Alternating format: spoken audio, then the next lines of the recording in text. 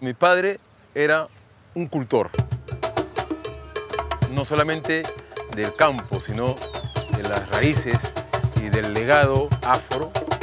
Somos cuidadosos en el sentido de, de lo que es fusión. ¿no? El diálogo solo tiene sentido cuando uno realmente trata de entender al otro. A ideia aqui é quero conseguir encaixar em algo que seja deles também.